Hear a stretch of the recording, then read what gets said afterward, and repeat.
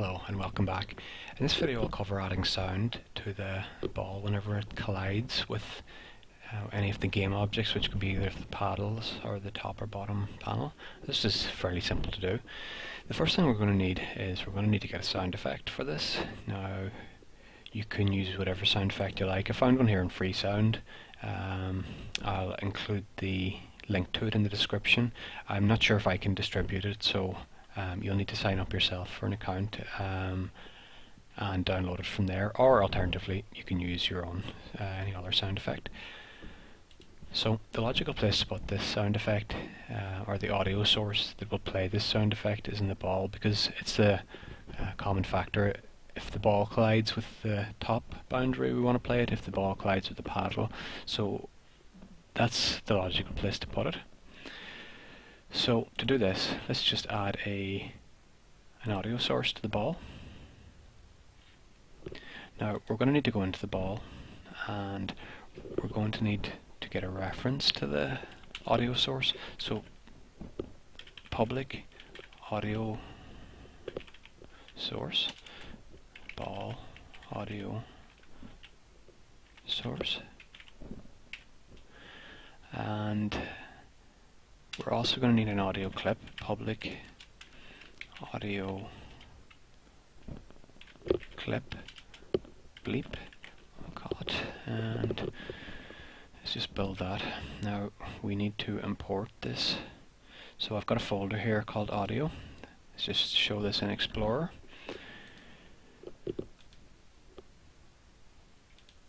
Okay, so I've already got this downloaded here, so I'm just gonna, well, I'll I'll just copy it and paste it in this folder.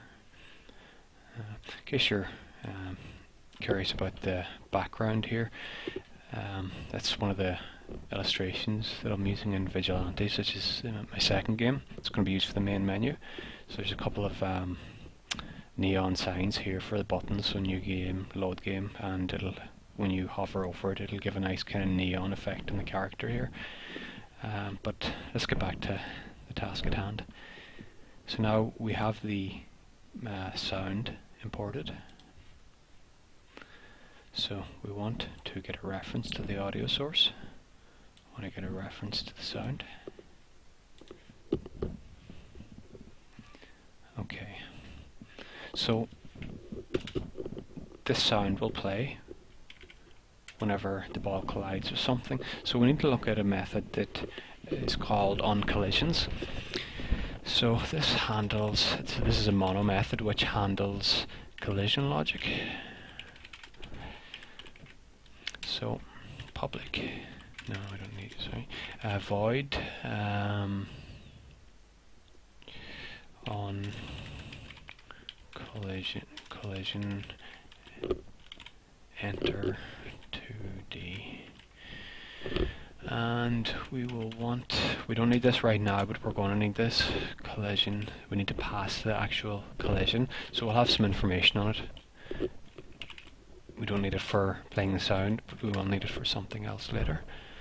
So all we'll need to do is we need to get the audio source.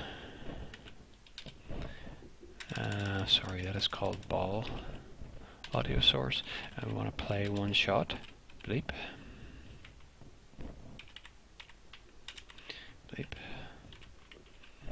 Okay.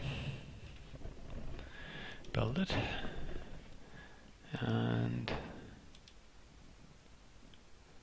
see if it works. No, it doesn't.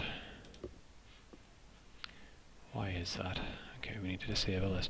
We probably need to drag this in, the audio clip into this. Try that again. No, it's still not working. Let's see. Okay, we have a reference, we have the audio source, we have the sound. Let's just check the sound to see is it working. Yep. Ah, I see. Yeah, I see you here. Uh, I think this should be capital, capital D.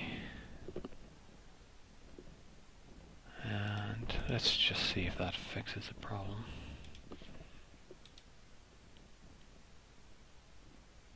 Yeah. There we go. I'm not sure if it's actually playing on Uh, if you'll be able to hear it, but yeah, the sound's working fine now. So I'll wrap it up with that for this tutorial, and I'll see you in the next one. Bye bye.